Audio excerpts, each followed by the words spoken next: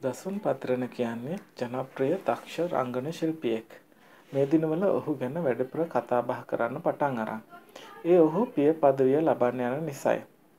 අපි ඔහුට කතා කළා. ඇත්තද තාත්තා කෙනෙක් වෙන්න යනවා කියන්නේ. ඔව්. ඒ කතාව ඇත්ත. මුලින්ම තාත්තා කෙනෙක් වෙන්න යනවා කියලා ආරංචිය ලැබුණහම මොකද හිතුනේ? මට ආසාවක් තිබ්බ ළමෙක් හදන්න.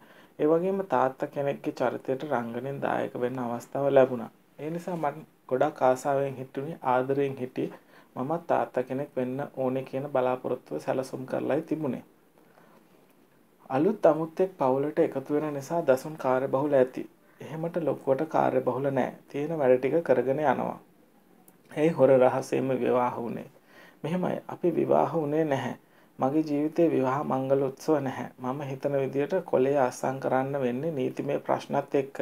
ඒක එක ලියවිල්ලක් විතරයි. මම හිතන්නේ අපි අවුරුදු 50ක් 60ක් ගිහිල්ලා විවාහ උත්සවයක් ගන්න ඕනේ කියලා. එහෙම ආසාවක් මට තියෙනවා. නීතිමය ප්‍රශ්න આવොත් අපි කසාද බඳිනවා. දසුන් කැමති දුවෙක්ටද පුතෙක්ටද? දුවෙක්ට තමයි වැඩිපුර කැමති. තාත්තා කෙනෙක් වෙන්න යනවා කියන දේ වගකීමක්. කොහොමද ඒ වගකීම ඔබට දැනෙන්නේ? මම දන්නවා මම මට හොඳ තාත්තා කෙනෙක් වෙන්න පුළුවන් කියලා. ඒක ලොකු වගකීමක්. ළමයා වෙනුවෙන් කළ යුතු වගකීම් යුතුකම් තියෙනවා. ඒ දේ මම කරනවා.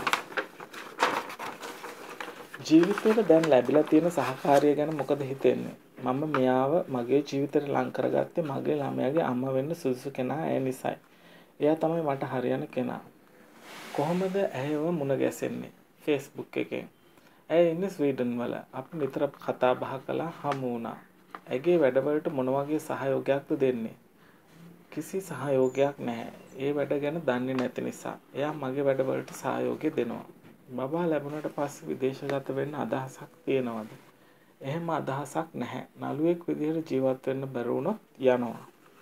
තමන්ගේ ජීවිතයට එකතු වෙන අලුත් අමුත්ත ගැන හීන දසුන්ටත් ඇති. එයා කැමති දේ එයා කරයි. කේන්ද්‍ර විශ්වාස කරනවද? නැහැ. ජීවිතේ ඉටු කරගන්න හීන තියනවද? නිතරම හීන තියෙනවා. හීන නැතුව ජීවත් වෙන්න බෑ. ඒ දසුන් ඔහුගේ හඬ නිකුත් කළ ආකාරයයි.